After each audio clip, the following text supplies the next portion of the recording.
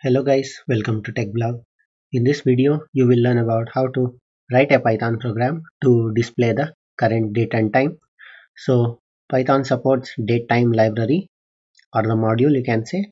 So let's import that and try to print the current date and time. So importing the date time.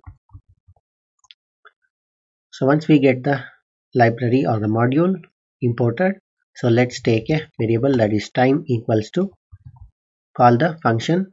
So date time has a function. So that is the now so we need to call that.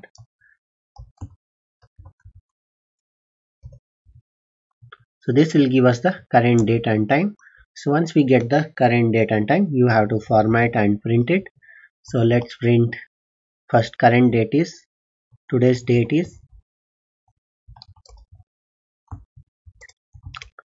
dot dot dot. And in the another line let's try to print the date time dot.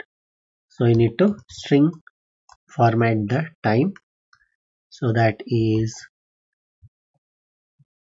percentage small letter y is for the year and percentage small m is for month and percentage small d is for the current day. So this will give us the year month and the day. And this is the current date or today's date you can call. In the next line let's try to print the current time. Or you can say time right now is dot dot dot. And again string format the time. That is time dot string format and you need to remember these things that is percentage capital H for hour percentage capital M for minutes. And you can notice the difference. Small m is for small m is for month and capital letter M is for the minutes and percentage capital S is for seconds. So this will give give me the current time in a 24 hour format so let me execute this and show you. So you can see today's date is 22 7 22 and time right now is 19 37 49 as over here. So minimizing this. So if you need a 12 hour format let's change it to capital I.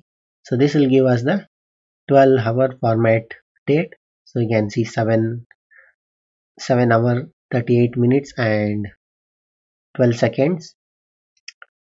So let me rerun it again. You can see that second gets changed. So this is it. So this is the program to display the current date and time using python. So hope you like this video. Thank you for watching. Bye